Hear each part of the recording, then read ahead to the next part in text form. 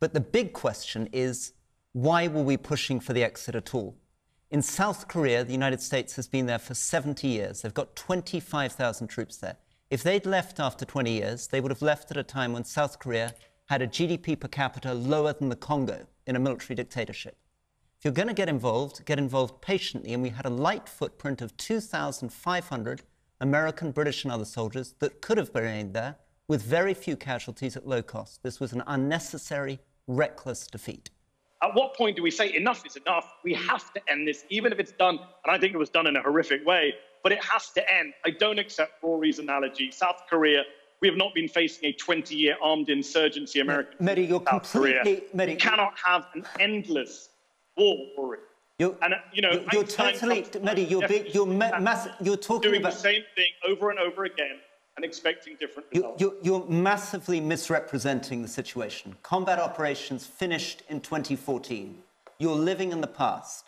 There have been very few US or UK casualties. This is one of the problems with the line Why that do Biden that is is, selling. And yet- Since 2014. Why do you think that is, Rory? Since 2014. Because, Why do you think that we, is? because we were conducting since 2014 air operations from bases in support of the Afghan National Army. There was no significant pressure against our forces on the ground. They were never tested. This idea that Biden is Rory. selling and that you are trying to sell that we were still stuck in the middle of a bloody civil war and we had no alternative other than to leave is totally false to the millions Hold of on. Afghans, the millions No. of Afghans whose lives have been improving over the last few years. You're much too pessimistic about what's been happening in Kabul. I don't know when you were last right, there, maybe. let's- When were you last in Kabul? When I was there in November, I'm I not in could- Kabul. When I was when I was there in November, I can assure you the people that I've been working with Okay. for 20 years are in a much Can better respond? situation they were before. Okay, and you're let's, let's dismissing hear, all let's those hear a response from Mehdi. Well, first of all, the last US soldier died in February 2020. Do you know what happened in February 2020? Donald Trump signed a withdrawal agreement with the Taliban.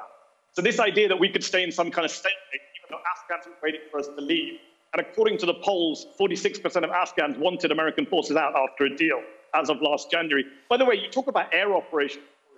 330% increase in civilian casualties from our air attacks between 2017 and 2020. When you were in Afghanistan, Rory, did you go talk to the families of the people we killed? I do. Did you go Okay, well, talk to let's- those? I do, Let's- and I can tell okay, you one no, thing. Rory, Rory, just one minute, because I need It to bring other people in as well. important to rem- The Afghan army never became self sufficient. But I've made, Mehdi, with respect, 125 trips to Afghanistan over the last 20 years. I went into Kabul at the end of 2001. It was a ghost town 300,000 people, nobody in the streets, 4 million refugees. We built a charity in 2006. I've got 400 employees on the ground at the moment, at risk from the Taliban, because of an entirely unnecessary and reckless decision by Biden trying to emulate President Trump. We didn't need to do it. And what we've done is we've destroyed hundreds of thousands of lives, people who were living lives similar to their opposite numbers in India. People who were able to go to school, and we were protecting it with a very small investment. And your figure, Mehdi, Rory. your figure, which you've quoted to suggest the only reason there are no casualties is because at the beginning of 2020 a peace deal was signed, are completely misleading because you should be aware that there were only six casualties in the year before that peace deal was signed.